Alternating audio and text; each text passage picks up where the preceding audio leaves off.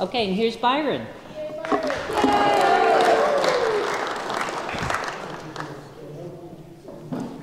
Thank you. Um, when Kate and I were discussing this, it was kind of like, not a lot, excuse me, when Mo and I were discussing this, I'm seeing Kate in front of me, so that's the way I was thinking. Um, I thought, sure, I could do this. And then it was like, oh my, what next? Where am I going to go? And then it all kind of fell together. And then she gave me a deadline of today. It's like, okay, it's got to be done. So, anyway, what you see here before you today is a 67 year old white male who has been a member of a minority group his entire life.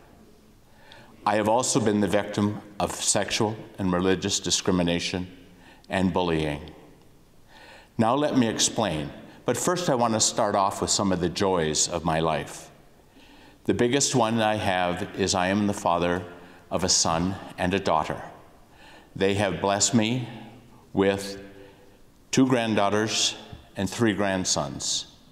One of them just happens to be a step grandson, but he's still my grandson. He has blessed me with two great granddaughters the biggest joys of my life. Now, to get back to a little bit about the rest of me. I was born a white male in 1954 on an Indian reservation in northern Minnesota. My parents there owned a small dairy farm. I am the fourth child out of a family of five, which is spread over 24 years. My oldest two siblings, a brother and a sister, were essentially gone from home before my memories ever started. They are 16 and 18 years older than me. I was the typical middle child, even though I am number four, with my younger sister being three years older and my little brother being six years younger. Someday I'll tell you all the story about him being a tumor. I was a very sickly child from almost birth, having severe eczema with a list of allergies a mile long. At puberty, the eczema disappeared and it became what back in those days was called hay fever.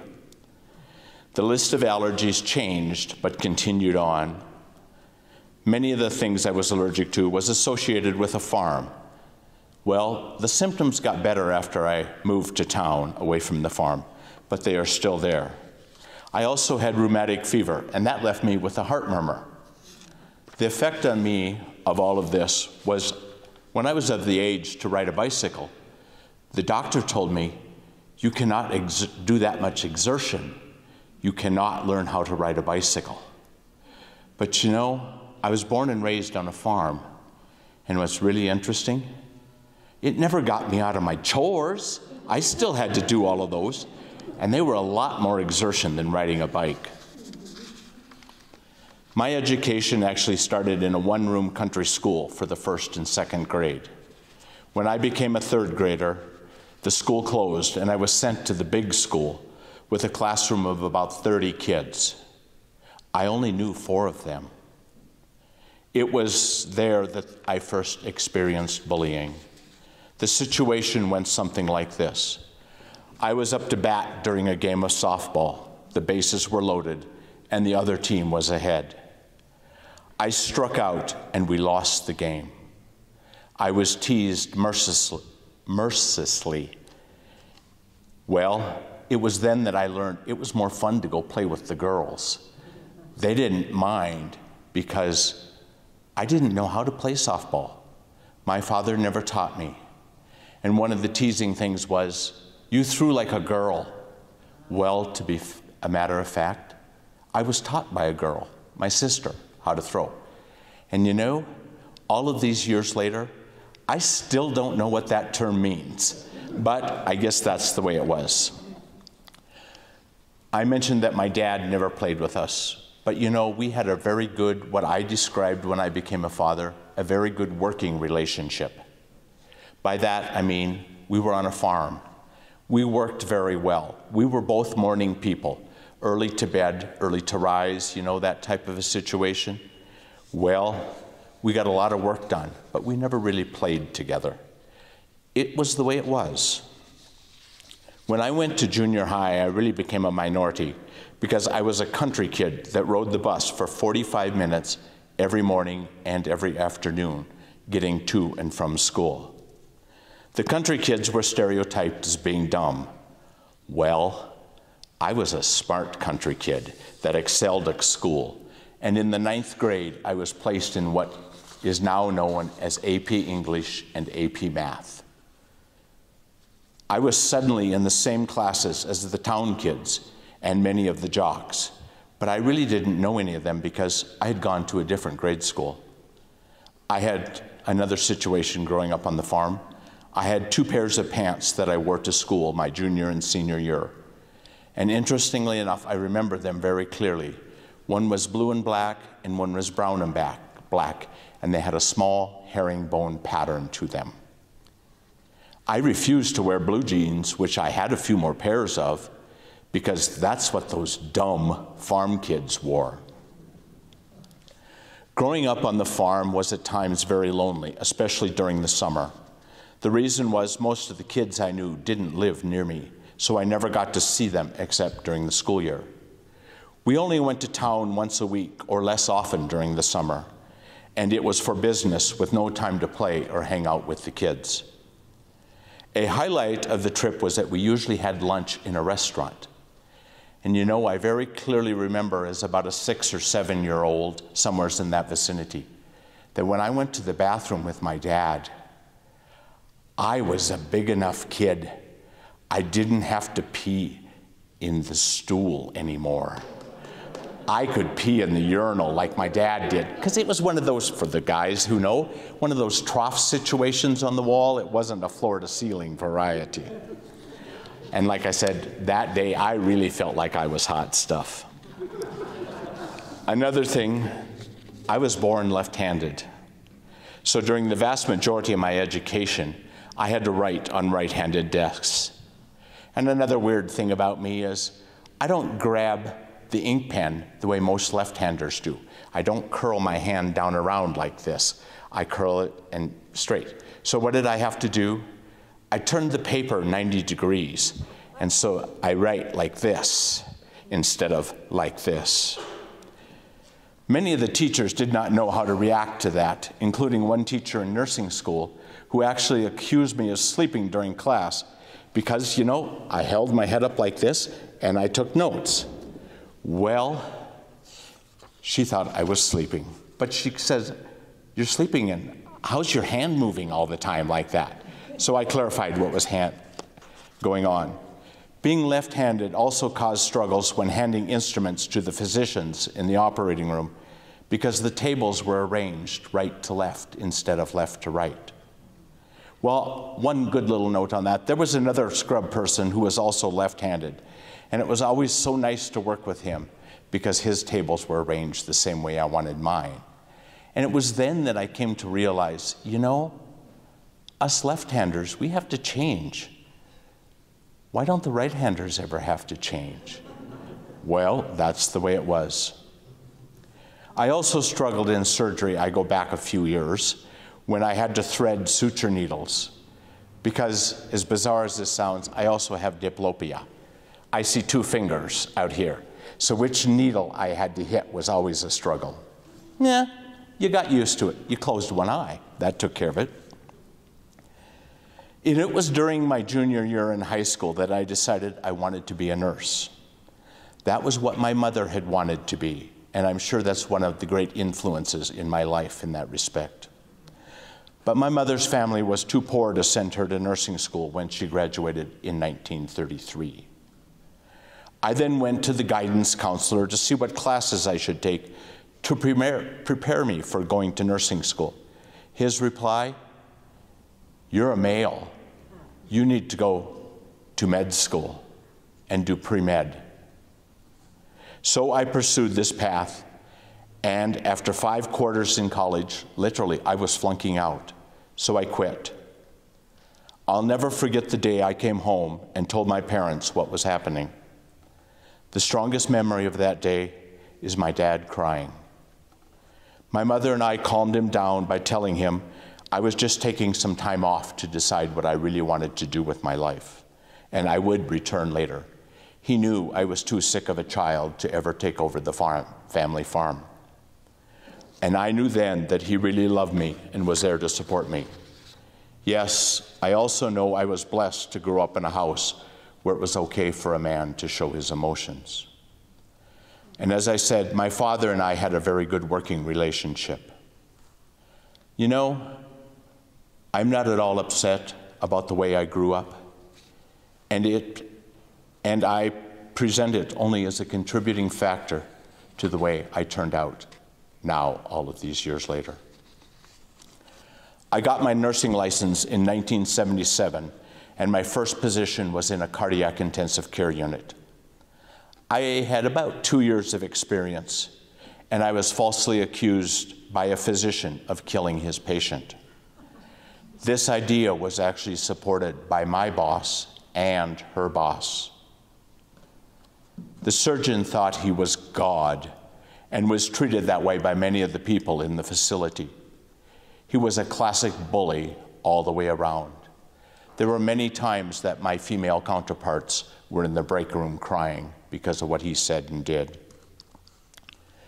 During the time I was working on this unit, many of my peers of equal qualifications worked as a charge nurse, but I was never given the opportunity. Why? I have no idea. And after this incident, incident, I transferred to the neurosurgical intensive care, and in about two months, I was working as a charge nurse. All went well for about the next eight years, and my boss was leaving. Well, I flatly refused to work under the boss's replacement, so I also left. And I went to a facility actually that was competing across town. And about two years after getting there, I applied for a job as a day charge nurse in the intensive care where I was working. The entire staff thought the job was mine. Well, that is except for the boss. The job went to a person who had one fourth the intensive care experience and not near the rapport with the surgeons that I had. But she was a member of the good old girls club. During this time, I received my bachelor's in nursing, and I left this establishment not too long after not getting the job to go to southern Minnesota to become the director of nursing in a 22 bed nursing facility. In this facility, I and the rest of the RNs did a little bit of everything, including working in the operating room. I left this facility three years later because it was closing. It did, in fact, close roughly 11 months after I left.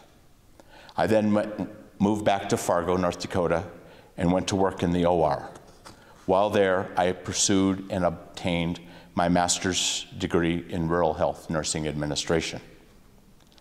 When I graduated, I only had a part time job as a student and had needed a full time job to support my family. So we moved to Washington State, where I took a position as a working manager of a three room operating room suite.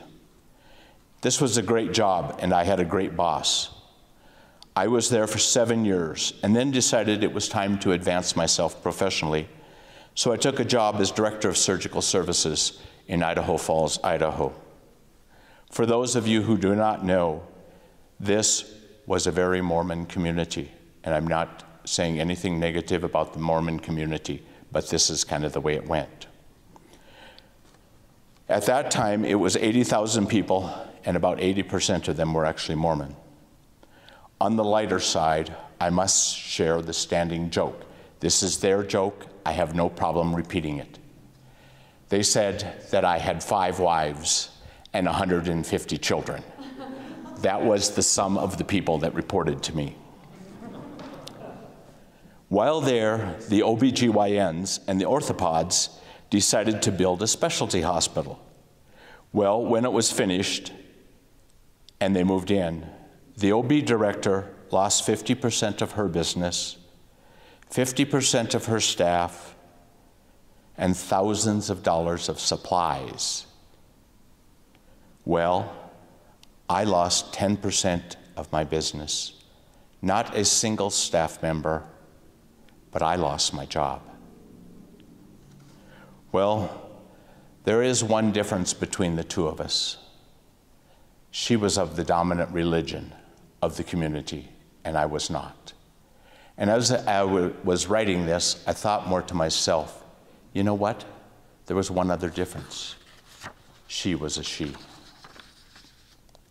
And while cleaning out my desk, I came across a letter that was postmarked, ironically, 35 days earlier. So I opened it. It was from a recruiter for a job at AORN in Denver. I decided that I would apply for it, even though I personally thought there was no chance that I would get it, especially after just losing my job. I was also very scared to move to Denver because I had been here on business and knew of the how strong the gay lifestyle was, and I was afraid that I would no longer be able to hide in the closet. I expressed my concerns to my ex wife about moving to a big city, and she reassured me that it would be okay.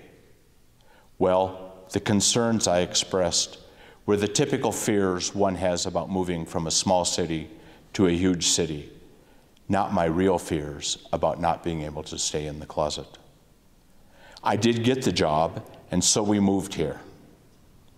And I'll get on to the coming outside a little more here in a few minutes. While working here in Denver, I was the victim of bullying three times in 16 years. I took two of these situations to HR and they basically told me, you know, bullying is a pretty serious accusation. Let's think about this. That was the only thing that was ever done. Well, after getting no support, I decided, as many people do, just to put up with it. Well, you know what happened? The offenders all left one by one by one. And one of the situations as to how unique this whole thing was was one of the parties named Debbie did not like men, period, point blank. And that, as I always said, was the first strike I had against me. The occurrence that I took to HR went something like this My peers were having trouble with our boss, which, by the way, I was not having, so I don't know why they were. And there was a meeting scheduled in Debbie's temporary office which was actually a storeroom, and there was a shelf that kind of split the room in half.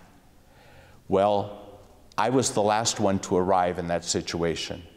And when I arrived there, everybody was seated on the far side of the shelf. There was really no room. So I and the boss stood on the other side of the shelf. Well, it was a very heated meeting. And when it was over and done, Debbie told me to stay to talk to her. Well, let me put it this way, folks. She essentially reamed me a new asshole, and there's no other way to say it that I can think of. Because I was not being supportive of the rest of the staff because I didn't stand on the correct side of the bookshelf. Yeah. Well, the day she left, I celebrated. Believe you me. And the other situations, by the time I got around retiring, one of these people had been fired and the other one had also left. So overall, it was a good time at AORN. And my experiences growing up left me very naive to the ways of the world, including sexuality. And like I said, I'm not complaining about the way I grew up, I'm just kind of stating the way it was. Going back to my college career now here. During the five quarters I was in college, I lived in two dormitories with a guy named Doug. I really wanted to see him naked, but during this entire time together, I never did. I also have to admit that I like to hang around the bathrooms for very obvious reasons. But you know what? I had no idea what this meant. I had no concept what it was all about. During this time, I dated two girls, but these relationships were actually short lived. Then I met Loretta, Doug, my roommate's girlfriend's sister. She would actually become my wife for 31 years through all of this. In between the collegiate terms, I lived the three summer months with a roommate named Anne.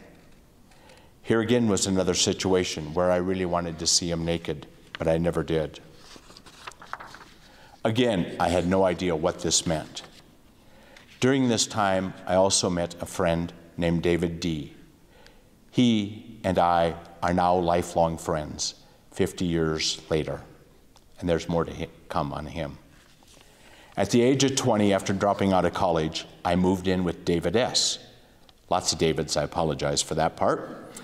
He had lived down the hall from me during my first year of college. We lived in different dorms the second year, but we remained friends. I thought I knew him pretty well, but I really had lots to learn. We lived together in an apartment where the living room and the bedroom was one room, not really in efficiency, but sort of on that line. We each had our own single beds. This is the location where, as I put it, I lost my virginity twice. The first time was honestly to my roommate David, and the second time to my fiancee Loretta. Well, my memory is very poor regarding exactly what happened, but one night David came to my bed and started to play with me. He was a bottom and knew what he wanted, which I gave him.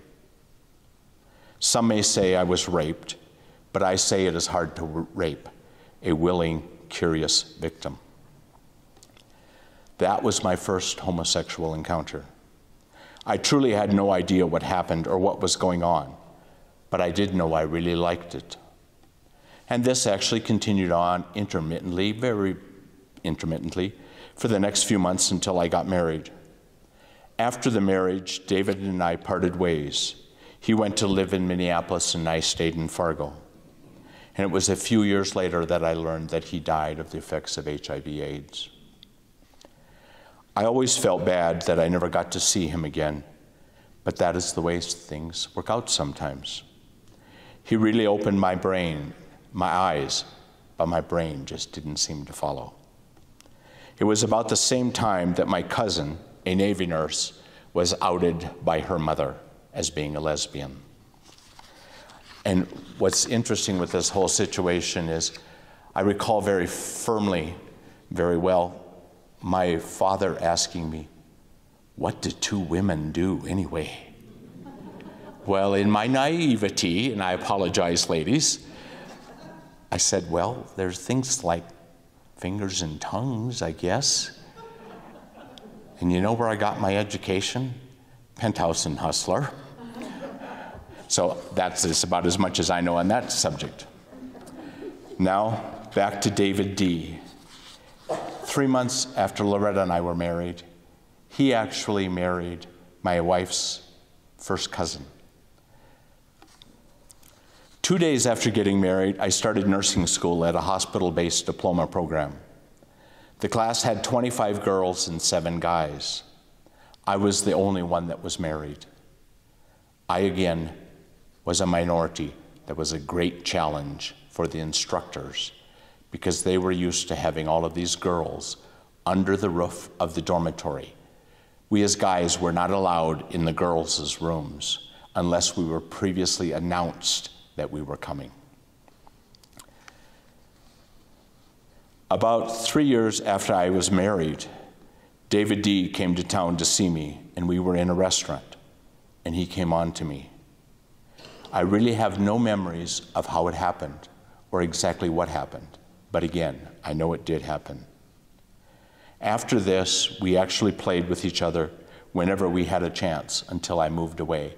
Then he came to visit a couple times, and the story picked up right where it had left off. More to come.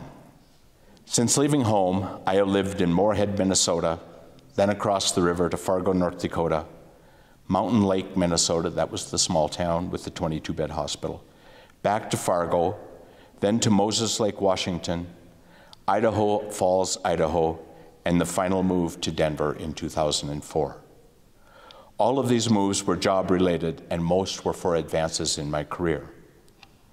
During most of this time, I actually had male to male sexual encounters in places like restrooms and shopping centers, in parks, at rest stops.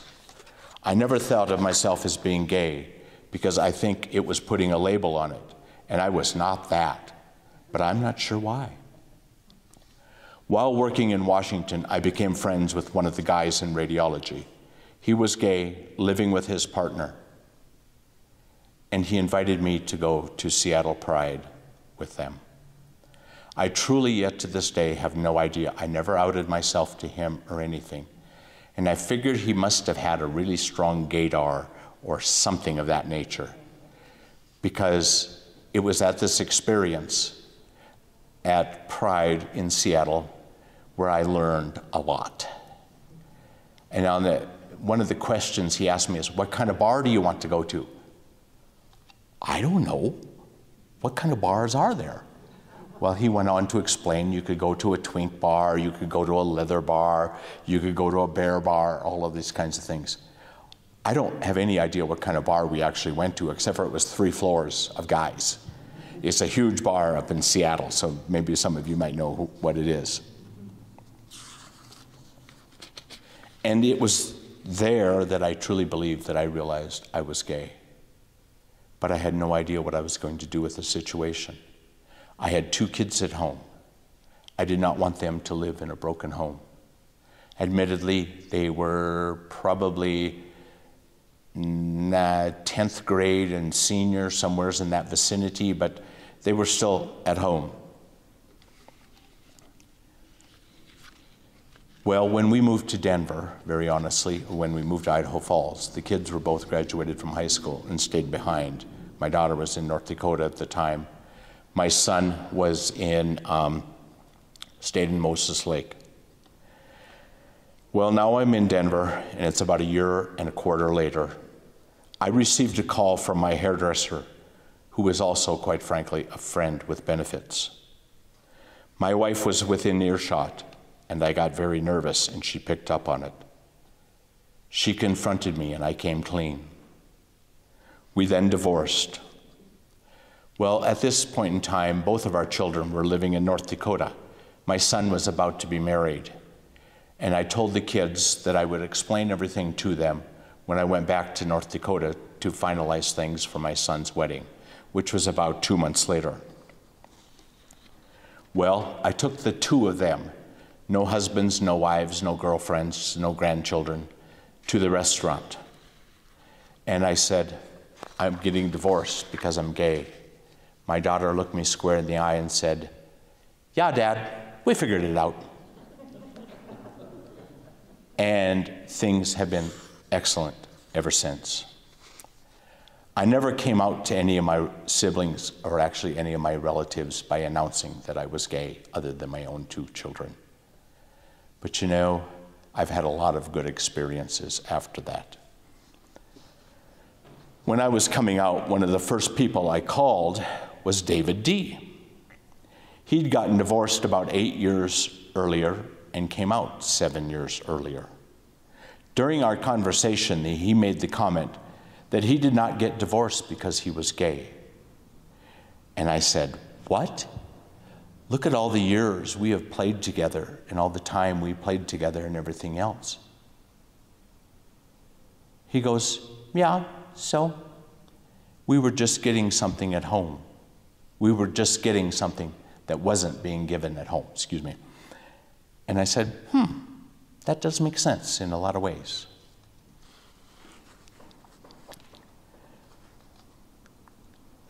And uh, I've been asked why I didn't come out earlier. There are actually many reasons, but the primary reason is that my ex wife had severe depression. And I was very scared that if I told her I wanted a divorce, she was going to commit suicide. I've talked to her about it. We're on very good relationship and everything else after it all. And she said, Yeah, I thought about it, but it really wasn't worth it. And I thought, okay, that helps me a, a lot. I've always considered myself blessed when I look at people's reactions to my coming out. Now, the story about coming out to my siblings. About a year after I came out, I was seeing this guy, Joe, and we were going to drive to Las Cruces, New Mexico, to attend a funeral. I asked him if we could stop in Albuquerque at my niece's house so I could see her, then go on down to Las Cruces, and then come up the other side of New Mexico and stop in Roswell and see my sister. He goes, Sure, that's no problem. Well, we did that. And my sister called me and said, One bed or two? And I said, Just one bed. Because this woman is 16 years older than I am, and she has only two beds in her house. I was not going to ask for both beds and make her sleep on the couch. That just wasn't going to go. Well, when I got to my niece's place, who, by the way, is a lesbian, she stated, Thanks for coming out to mom. And by the way, she shared it with the rest of your siblings. my little brother, bless his heart, said, told his wife, He's not gay. His wife looks at him square in the face and said, Oh, yes, he is. But my niece also went on to say that it had improved her relationship with her mother.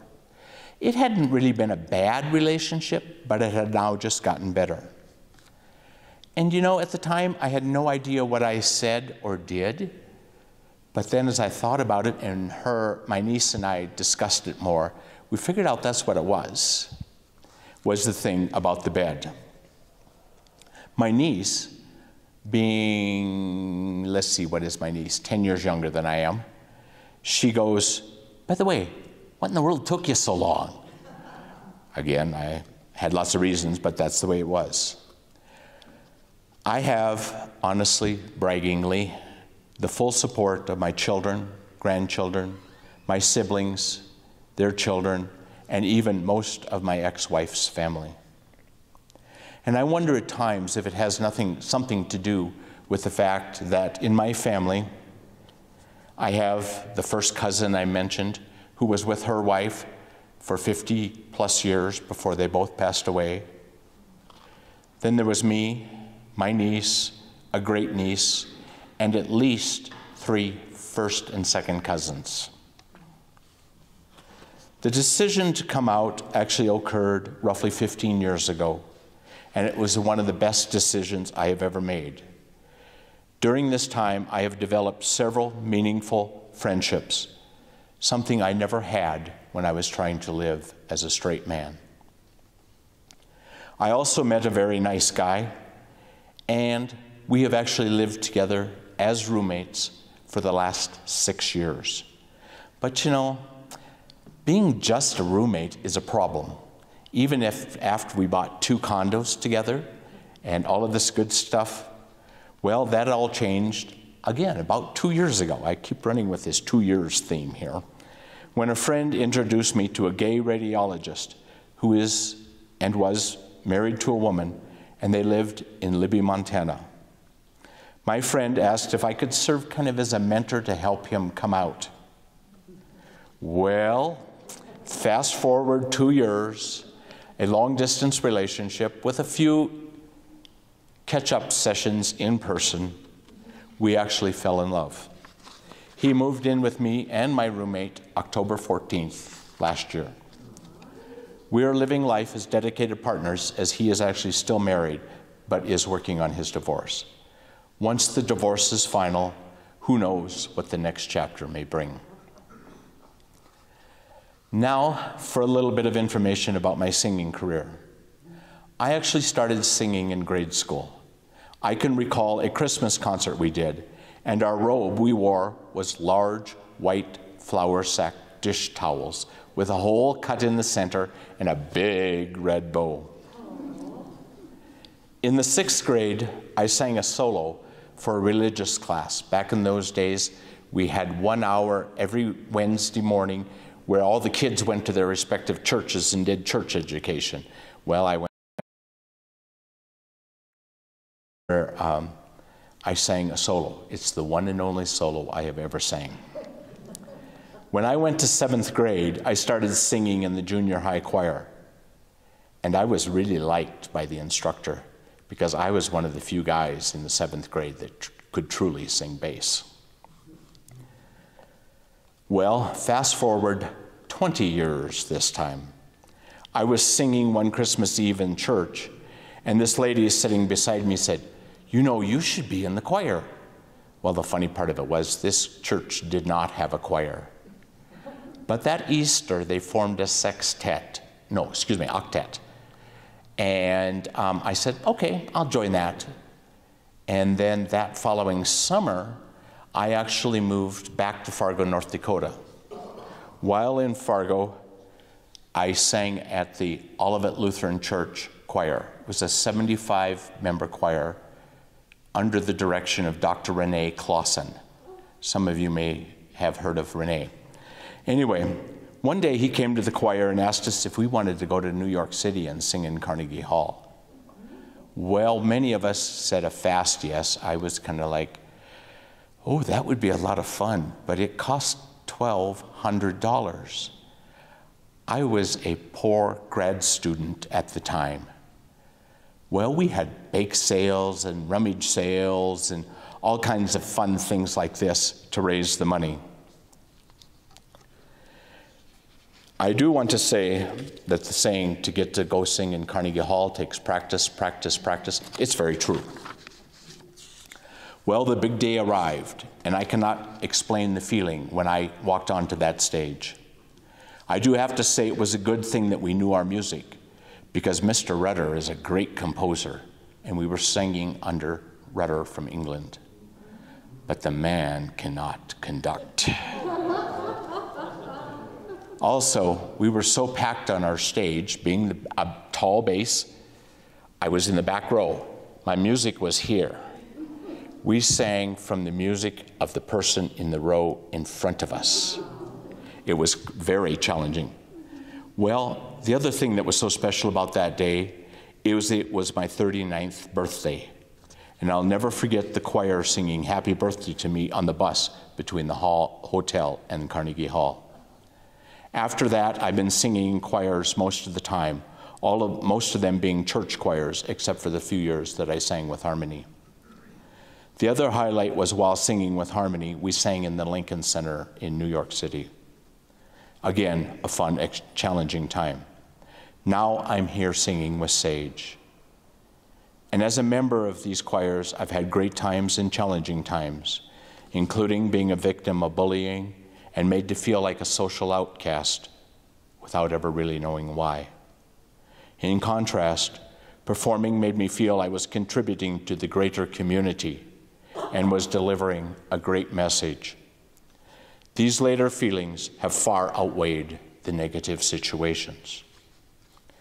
My life has also included many years serving on boards. Yes, I used to be a glutton for punishment.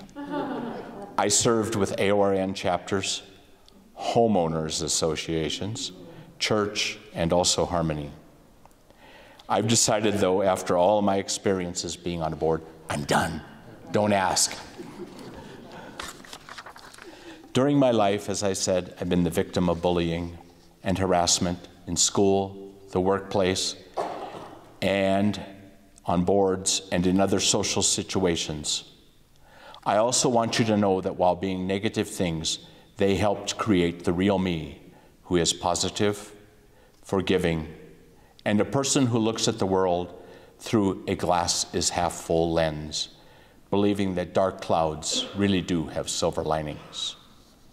In closing, I have to say, life hands you many challenging situations, and what you do with them is your decision.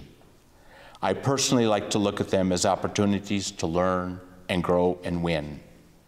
I am not a competitive person, but in many of the situations I've described, I became determined not to let those who were against me get me down or to win. I also believe we are all the so that we, excuse me, we are all the same, yet we are all different. We all have strengths and we all have weaknesses. We are all right and we are all wrong. Lastly, as I said before, how you handle the situations that life gives you is your decision, but I chose to learn from them and move forward.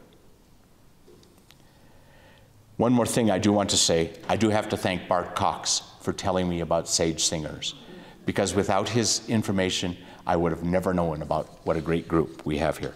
So, that's my story, thank you all for listening, and if you have any questions or comments, I'm here.